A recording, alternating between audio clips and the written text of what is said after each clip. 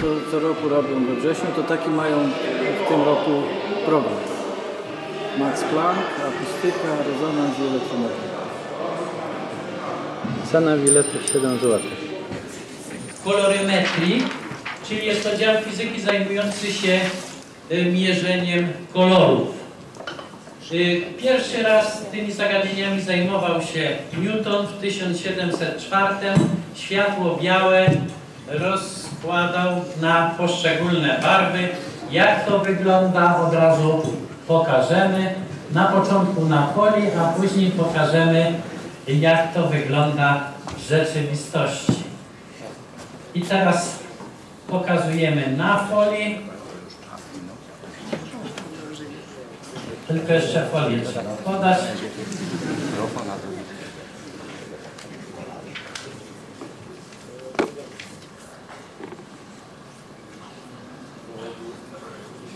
Widzimy tutaj, że światło białe padające na pryzmat ulega rozszczepieniu na takie barwy. Newton przyjął tych barw około 7. Wiemy, że ich jest o wiele więcej, ale dawniej była szczęśliwa liczba siódemka i dlatego tak to wyglądało.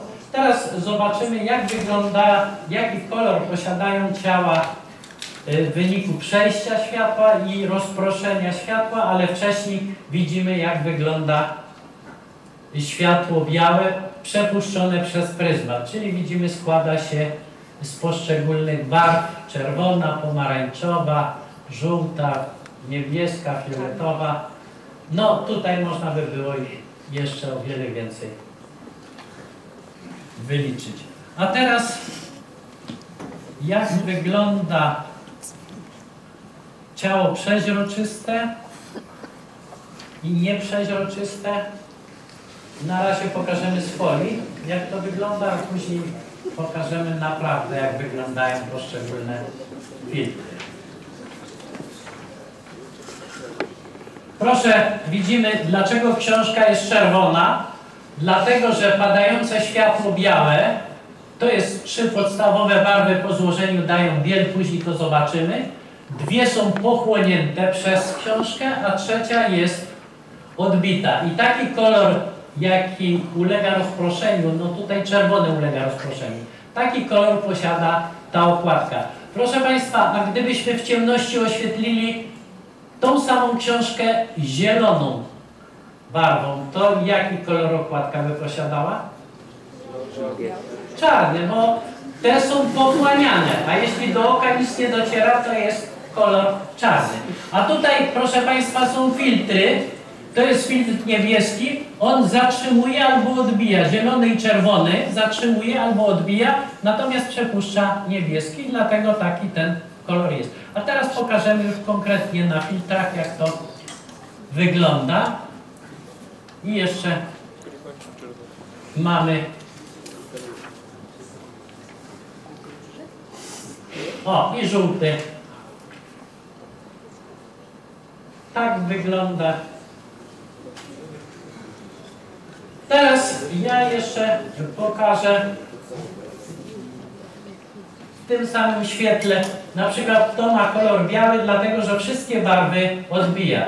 To ma kolor tutaj czarny, bo wszystkie barwy są pochłaniane. Natomiast y, tutaj odbijana jest czerwona, niebieska i zielona. Teraz zobaczymy takie koło już w dużym powiększeniu.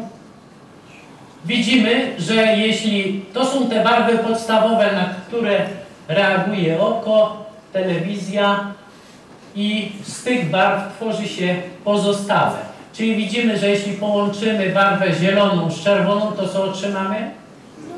Żółtą, a czerwona z niebieską? To jest różowa, ale ona się nazywa purpura.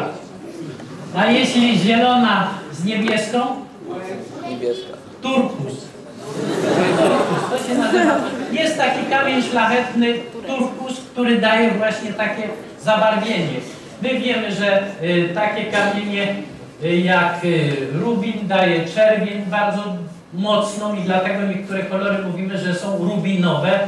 Y, są kolory szmaragdowe, dają zielone, czyli to jest zanieczyszczony Al2O3 zanieczyszczonek miedzią daje właśnie taką barwę i tak dalej. Ja na podstawie tego otrzymujemy te trzy kolory, a gdybyśmy chcieli otrzymać jeszcze inne, to musielibyśmy zmniejszać niektóre barwy, niektóre odejmować i tutaj pokażemy trójkąt. To jest trójkąt barw, tu możemy dla każdej barwy przyporządkować współrzędne i taką barwę możemy otrzymać, z tym, że on nie jest do końca rozpracowany, tylko w środku dano tą część kolorową. Tu, tu powinien być niebieski, tutaj czerwony, a tu u góry zielony i cały trójkąt powinien być zamalowany. I możemy dokładnie określić współrzędne każdej barwy. Ale okazuje się, okazuje się, że nie wszystkie no, ćma przyszła na obserwację. Okazuje się, że nie wszystkie barwy y, y, człowiek jest w stanie odebrać. Nasze oko po prostu ma możliwość odbioru czerwonego, zielonego i niebieskiego.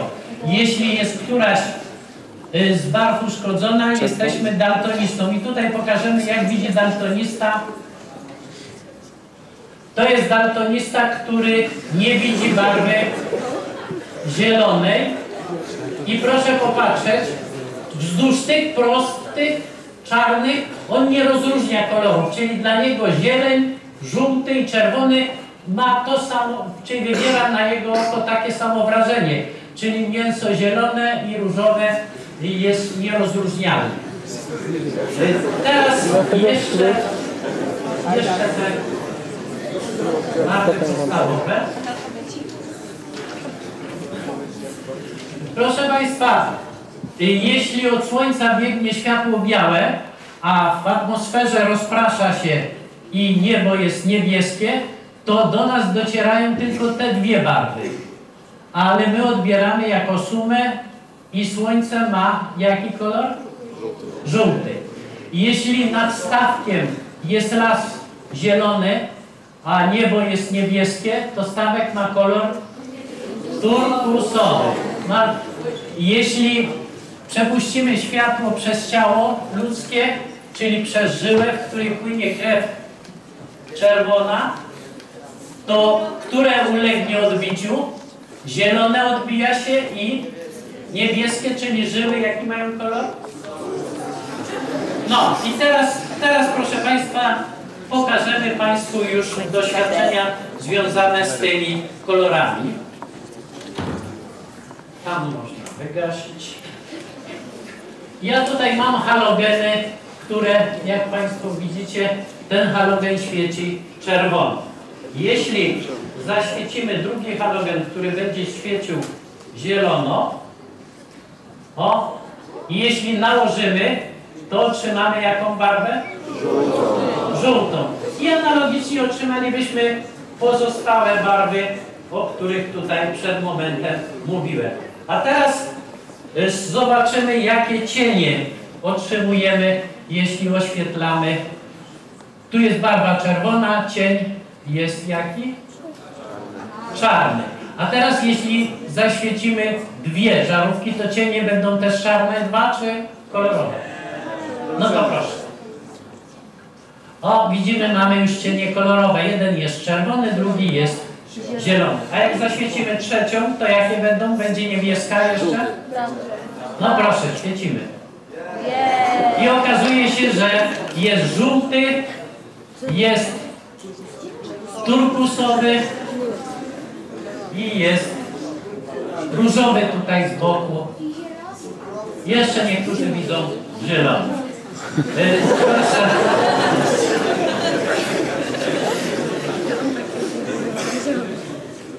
Teraz pokażemy, jak to jest w telewizji.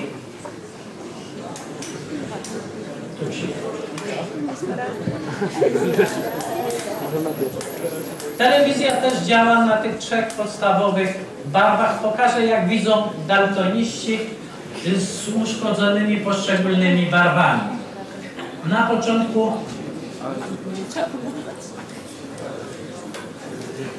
no coś tutaj.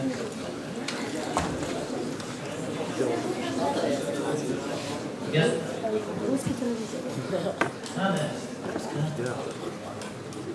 Teraz mamy czarną barwę, a teraz proszę popatrzeć, czyli tutaj mamy czerwony, to jest barwa podstawowa, druga barwa zielona, o, i trzecia, i kombinacje między tymi barwami dają różnego typu kolory. A teraz y, spróbujemy y, załączyć wszystkie kolory, tak jak widzi normalny wzrok, w ten sposób normalny wzrok widzi. I proszę popatrzeć, jeśli mamy uszkodzoną barwę czerwoną, to tak byśmy widzieli te linie. Jeśli mamy uszkodzony zielony, to tak. A jeśli niebieski, to ten sposób. Większość, proszę Państwa, czy Państwo widzą poprawnie, czy nie, to będzie można zobaczyć przy pomocy y, testu Ishihary.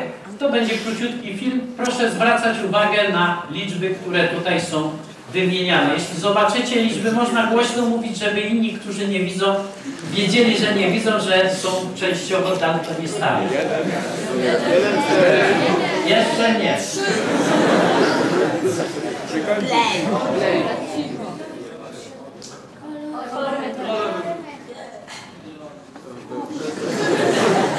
Tu na razie, na razie takie jeszcze trójkąt, całe nazwy poszczególnych chorób.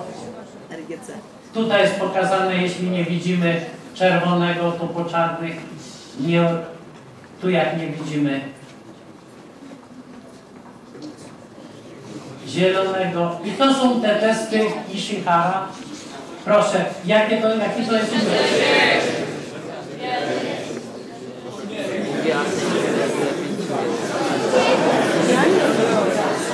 numer?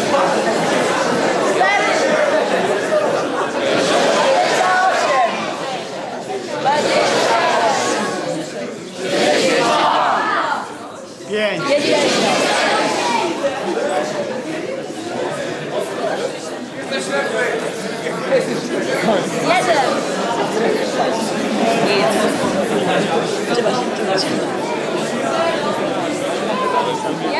Proszę Państwa, i to by było wszystko, ponieważ w kolejce są następni panowie z Lublina. Dziękuję.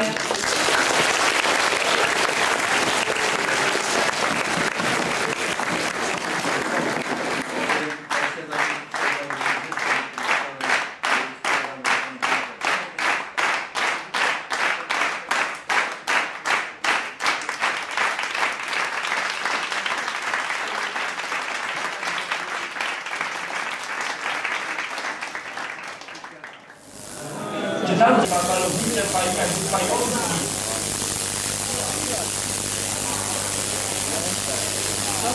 Pojawiać, to jest 50 tysięcy wojsków, zaczyna ich trochę widoczna.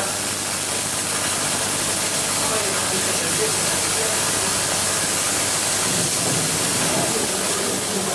tysięcy.